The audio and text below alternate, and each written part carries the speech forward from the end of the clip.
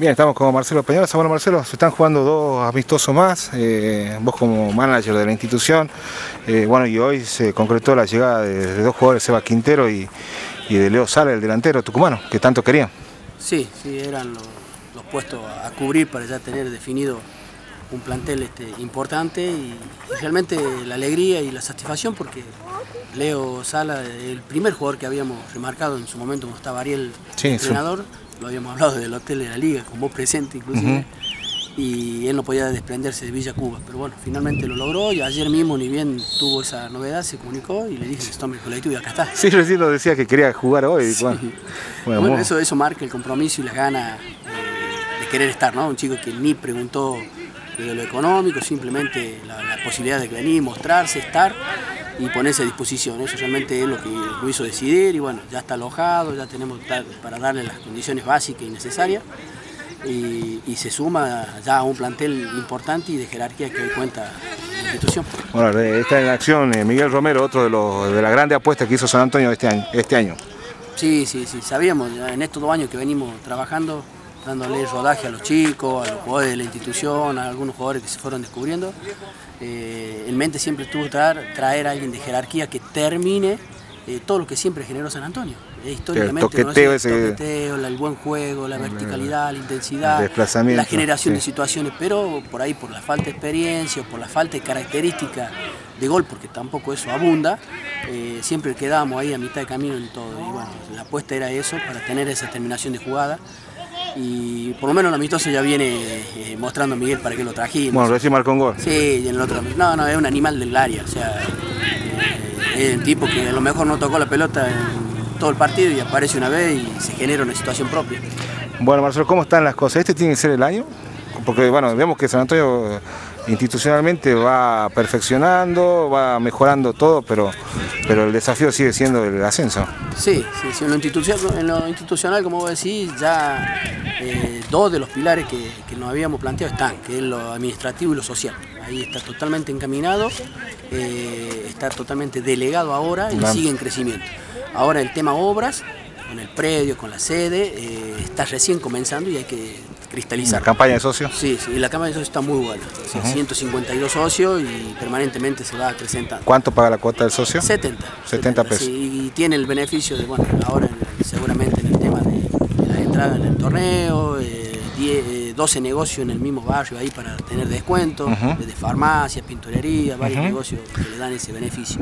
Para, para el apoyo de la hinchada ahora. Sí, que las agrupaciones, que eso fue de una locura, una idea eh, personal en la que le dije a la dirigencia que teníamos que traerlo para que formen una submisión de colaboración y lo hicieron, lo hicieron. Este, bueno, juntaron. se juntaron las cinco agrupaciones, dejando de lado la diferencia, sabiendo que tienen que hacer una sola fuerza Los, única. los últimos dos años fueron plagados de diferencia entre ellos. Totalmente, totalmente. Entonces ese era un desafío personal con el apoyo de la dirigencia. Lo fui a buscar permanentemente y hoy las cinco agrupaciones están trabajando a la par, digamos, ¿no? Como, como su comisión de apoyo están y eso es muy bueno. ¿Qué opinión tiene de la zona que le ha tocado? Y es dura. Eh, y de así que salió Chicuana, porque una zona de cuatro, yo creo que eran cuatro eh, este, equipos muy fuertes. Con- ¿No es mejor una zona de cuatro o no? Sí, sí, me hubiese gustado una zona de cuatro. Pero bueno, eh, eso no quiere decir que va a ser más fácil, al contrario, también se achica el margen de dos, se clasifica uno y después para no estar dependiendo de los segundos que clasifican. ¿Dónde va a jugar San Antonio? ¿Ya decidieron?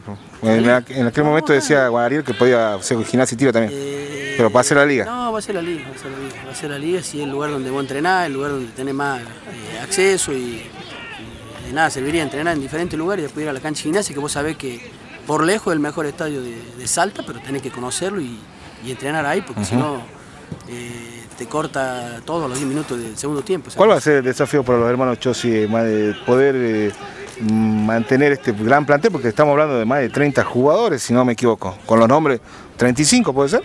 35, sí. Después hay lugar para los chicos de, de las inferiores, ¿cierto? Que se le va a hacer una selección, aquellos seguramente que han estado en su 15. ¿A qué voy? A que aquel que no juega se va a sentir molesto, va a decir, bueno, eh, entreno pero no me ponen.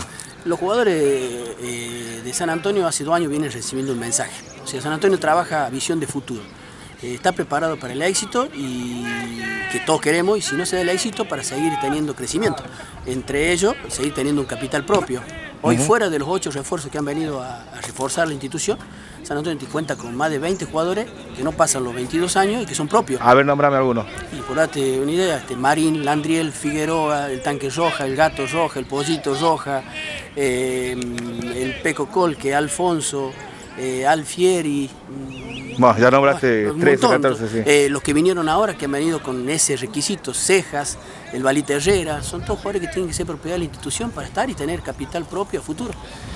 Bueno, Marcelo, ¿qué, se viene? ¿Cuánto quedan? ¿Poco días? ¿Algún amistoso en carpeta? Sí, sí, los técnicos me pidieron eh, dos amistosos más, mínimo, si se puede hacer tres, serán tres, pero ya está confirmado el domingo en el carril, a partir de las 15.30. Eh, está ya pautada la revancha con Chicuana el próximo sábado allá en el Valle. Y entre semanas seguramente vamos a conseguir uno más para que ellos puedan ir dándole el rodaje que necesitan. ¿Qué pasó la última, la última? ¿Qué pasó con eh, chico este Mamaní? ¿Otra vez, otra vez, otra vez se fue?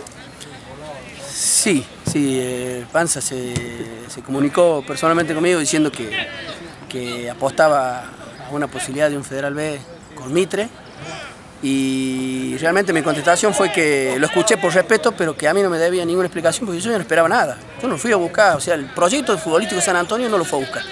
Eh, fue un clamor popular ante una necesidad en ese puesto. Hacía falta un central. Eh, Buscaron un central con Así como pidieron por Chossi, pidieron por Mamani, se le dio la posibilidad. Entonces, de última, si necesito una explicación o una excusa, se la tiene que dar al, al hincha que lo haya pedido, no a Marcelo Peñalosa ni a la comisión directiva.